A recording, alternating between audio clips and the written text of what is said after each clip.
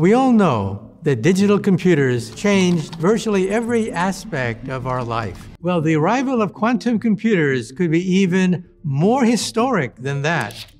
Quantum computing isn't on the horizon. It's already rewriting the rules of technology. In 2019, Google's Sycamore chip solved a problem in minutes that would take classical supercomputers 10,000 years. That's not just impressive, it's historic. If you've heard the term quantum computing, but brushed it off as sci-fi or something that won't affect you, stick around. Because this isn't about futuristic labs or niche applications. Quantum computing is set to reshape industries, from healthcare and cybersecurity to finance and artificial intelligence. In this video, we're diving into how quantum computing works, the industries about to be disrupted, and the global race to dominate this technology. But that's not all. By the end, you'll also know about the hidden challenges that are holding quantum computing back and why that won't stop it from hitting the mainstream sooner than you think. If you're ready to see how quantum computing could shape the next decade and why you should care right now, let's get into it. Let's break it down without diving too deep into the weeds. Traditional computers use bits, either a zero or a one, to process data. It's like flipping a light switch on or off, simple and effective, but limited. Quantum computers, on the other hand, use qubits. Now here's where things get wild. Qubits can exist as both 0 and 1 at the same time, thanks to a principle called superposition. Think of it this way. Imagine flipping a coin. In classical computing, the coin lands on either heads or tails. With quantum computing, it's as if the coin is spinning in midair, existing as both heads and tails until you actually look at it. This allows quantum computers to process multiple possibilities simultaneously, exponentially increasing their power. But that's just the start. Qubits can also become entangled. This means that the state of one qubit is directly linked to the state of another, even if they're separated by vast distances. Einstein famously referred to this phenomenon as spooky action at a distance, it's like having two perfectly synchronized dice.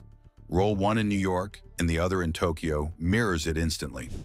This level of interconnectedness allows quantum computers to perform calculations that classical systems simply can't handle.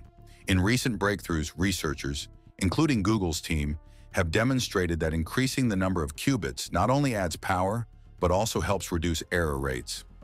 Error correction has been one of the biggest challenges holding quantum computing back, but advancements like these are crucial steps forward. This isn't hypothetical anymore. The technology is advancing, and with it, the race to unlock its full potential is heating up. So, where will we see quantum computing's impact first? The truth is, this technology won't sit quietly in labs. It's already poised to transform some of the world's biggest industries. Let's start with cybersecurity.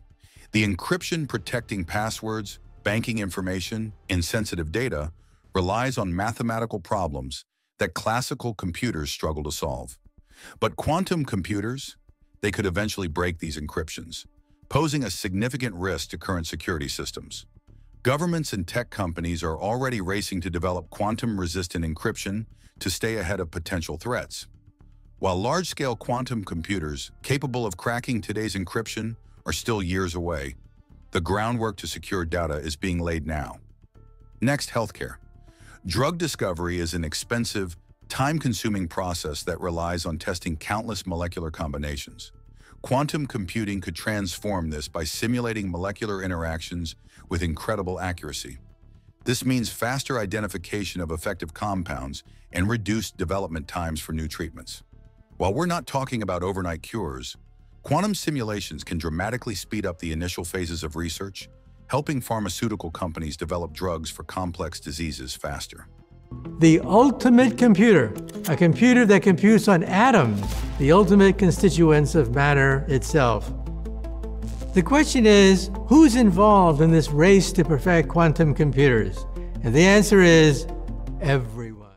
Finance is another industry watching quantum computing closely. Quantum algorithms excel at processing massive data sets, allowing for faster and more precise risk analysis, portfolio optimization, and fraud detection. Major financial institutions are already exploring how quantum tools can enhance market predictions and improve decision-making. And then there's artificial intelligence. Training large AI models can take weeks using classical computers, but quantum systems could significantly reduce this time.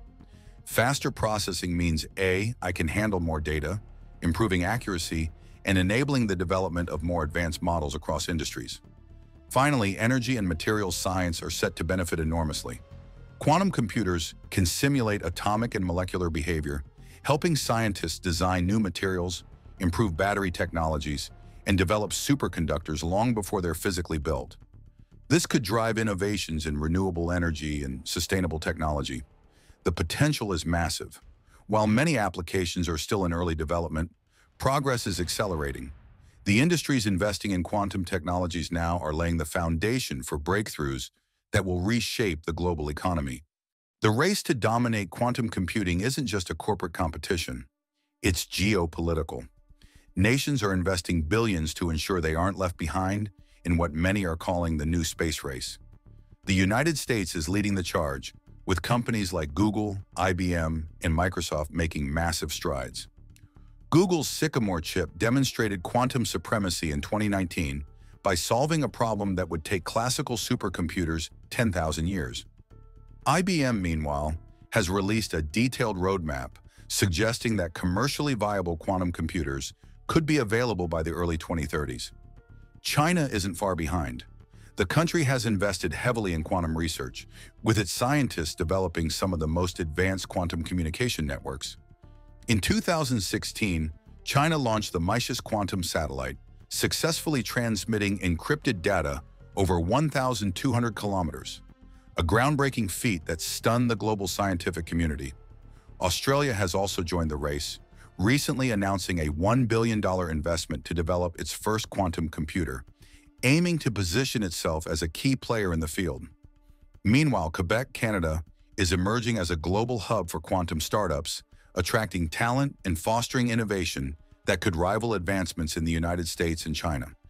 The nice thing about quantum supremacy is that it is a very well-defined engineering milestone.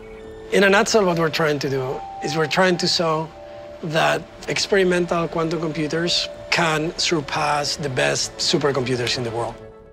This isn't just about technological bragging rights. Quantum supremacy, the point at which a quantum computer outperforms the best classical supercomputers, could shift the global balance of power.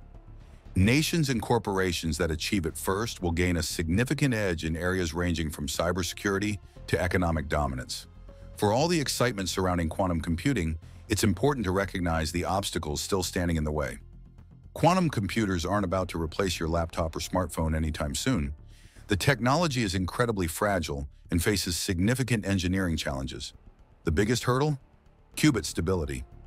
Qubits are incredibly delicate and can be disrupted by something as minor as a slight vibration or a temperature fluctuation. Most quantum computers must operate at temperatures near absolute zero, colder than outer space, to keep qubits stable enough to function. Even under these extreme conditions, qubits are prone to errors. If a single qubit falls out of alignment, entire calculations can fail. Scaling these systems is another monumental task. Unlike classical computers, where adding transistors typically boosts power, adding qubits introduces more complexity. Quantum computers require precise entanglement and synchronization. It's not as simple as stacking Lego blocks. Every additional qubit exponentially increases the difficulty of maintaining system stability. Cost is another major barrier. Quantum computers are expensive to build and even more expensive to maintain. The infrastructure required, from cryogenic cooling systems to specialized environments, limits quantum computing to elite research labs and tech giants. Companies like Google, IBM, and Microsoft are pouring billions into development, but for now, most smaller companies and academic institutions are left behind. Even if these technical barriers are overcome, practical applications remain limited. Quantum computers excel at solving highly specific problems, like optimization tasks or cryptography, but real-world large-scale applications are still in development. Many breakthroughs represent potential rather than immediate, tangible results. That said, progress is happening. Google's Sycamore chip and advancements from IBM and other researchers show that we're inching closer to practical systems. Sycamore's achievement of quantum supremacy in 2019 demonstrated that quantum computers can outperform classical supercomputers in specific scenarios. With each passing year, error rates are decreasing, and quantum processors are becoming more powerful. Although we're not quite at the point of everyday use, the momentum is undeniable. Quantum computing is steadily advancing toward the mainstream. So, when can we expect quantum computing to make its way into everyday life? The short answer, not tomorrow, but sooner than you might think. Experts predict that quantum computing could reach mainstream adoption by the early 2030s. This doesn't mean you'll have a quantum device at home, but industries like pharmaceuticals, finance, and logistics will likely integrate quantum tools into their workflows.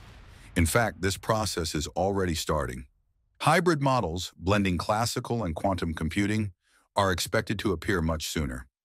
These systems will handle specialized tasks using quantum processors while relying on classical computers for general operations.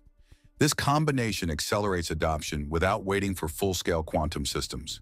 Financial markets are among the first sectors to embrace quantum computing.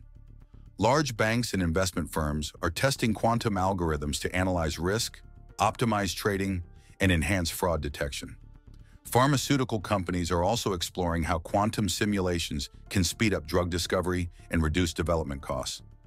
The shift won't happen overnight, but the foundation is being laid now. As progress accelerates, quantum computing will expand beyond research labs and begin shaping industries in the next decade. Here's the takeaway. Quantum computing isn't a distant dream. It's a technological shift that will reshape industries, economies, and daily life. While it might seem far off, the advancements behind the scenes are moving quickly. Why should this matter to you? Because when quantum computing reaches its full potential, it won't just affect tech giants, it will impact everything. From healthcare to finance, cybersecurity to AI, the ripple effects will be massive. Staying informed isn't just useful, it's essential. Quantum computing will drive new industries, jobs, and innovations. Those who understand its impact will be better prepared to capitalize on the changes ahead. Startups and tech leaders are already drawing investors, signaling that this is an area to watch closely. The question isn't if quantum computing will reshape the world, it's when. And when that time comes, will we be ready? The answer might arrive faster than you expect. If you've made it this far, let us know what you think in the comment section below. For more interesting topics, make sure you watch the recommended video that you see on the screen right now. Thanks for watching.